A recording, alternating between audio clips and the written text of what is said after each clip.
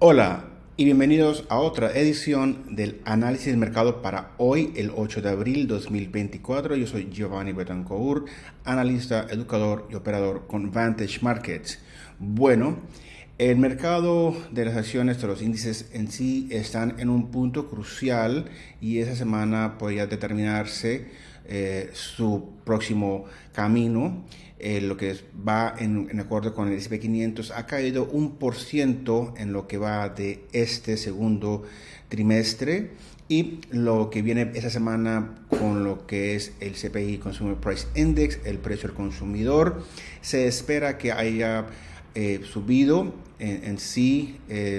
La inflación también.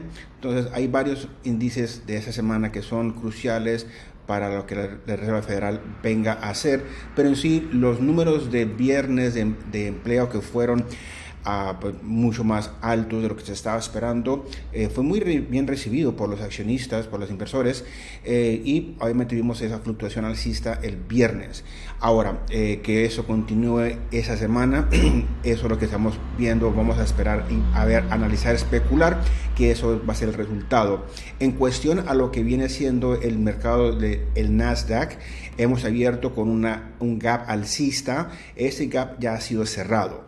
Eh, lo que implicaría que el, momentum eh, de la, del gap, la dirección del gap que está hacia el alza, vaya a favorecer eh, compras. Entonces vamos a, a hacer algo precavidos. Yo voy a poner mi resistencia a los 18.500 Vamos a ir comprando. La resistencia va a ser a los 18.200.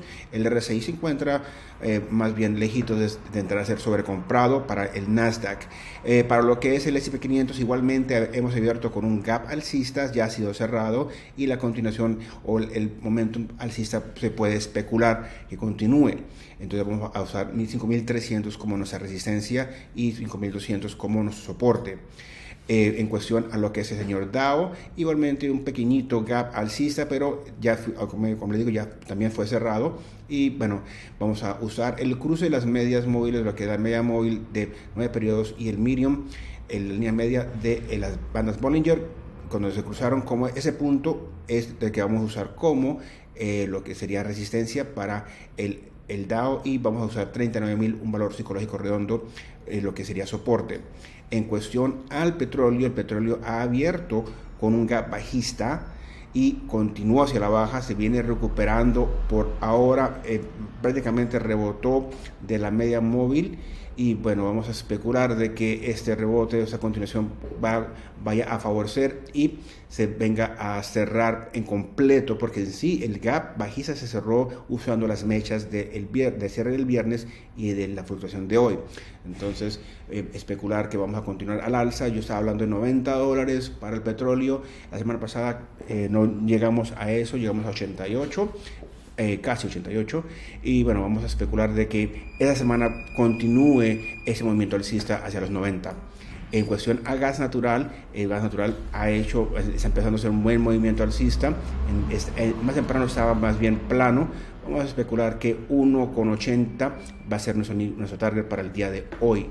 En cuestión a lo que es el oro, oro viene haciendo muy eh, nuevos altos cada, cada semana ya ha hecho un nuevo alto hoy, entonces especulamos que 2.375 sería nuestro target, pero sí estamos sobrecomprados en el RSI, entonces tengan eso en cuenta. El, ahora, para plata, plata igualmente viene caminando las bandas como tal cual como el oro es esto es una indicación de que el momentum alcista está siendo soportado pero obviamente hemos estado ahí ya prácticamente una semana entera caminando las bandas y una corrección también puede ser eh, ajustada. Ahora, en plata igualmente, estamos caminando la plata en, las bandas, las bandas Bollinger, y bueno, especulemos de que eh, eso va a continuar, una, una, corrección también puede ser eh, vista porque igualmente como el oro estamos ya en sobrecomprados en el mercado. En cuestión al cobre, igualmente vamos caminando las bandas, pero el, el, cobre sí ha tenido un poco más de sostenimiento por la demanda en sí. 4,30 sería nuestro target. También estamos sobrecomprados. Correcciones pueden ser eminentes. Igualmente para lo que es Bitcoin, Bitcoin salió de esta, estos días de movimiento lateral una ruptura hacia el alza, 74.000 puede ser nuestro target, el RSI se encuentra lejitos de ser sobrecomprado. En lo que es las divisas, están bien planas, una, una guerra interna entre su sostenimiento para el euro norte del 1.08. Vamos a ver si se sostiene alrededor de lo que viene siendo este canal creado por la, la medium y por lo que es la media móvil. Aquí tenemos entonces lo que viene siendo eh, la libra esterlina y bueno, la libra esterlina abrió con un gap bajista, pues ya ha sido cerrado. Vamos a ver si hoy, eh, ahora, eh, durante el día, se, se, estabiliza y continúa su movimiento alcista hacia el 1.27. La libra, el dólar index es el que también va a tener presión en esto. Si el, el dólar index se recupera o sale de este pequeño movimiento lateral, de congestión, hacia norte del 104,400, vamos a ver entonces una retracción tanto los metales como las divisas. Entonces puede, probablemente la libra esterlina y el euro eh, caiga si vemos 1,04 y norte. Ahora, si el, el, dólar cae hacia, hacia los bajos de la semana pasada, entonces podemos ver una, una repunte en las divisas y en los metales. Eh, por parte de los mercados.